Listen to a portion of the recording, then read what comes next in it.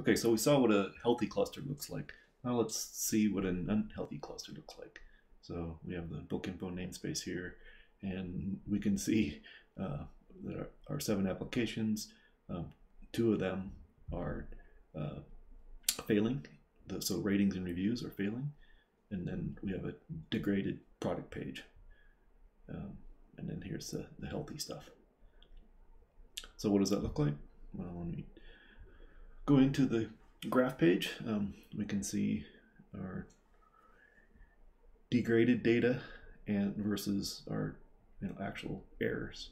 Um, and the difference being that um, the degraded uh, is just 0.1 to 20% error, and the errors is uh, uh, actually you know, greater than 20% errors. Um, and when we look over here, we can also see that we're getting uh, 500s. So it looks like 13% uh, 500s there.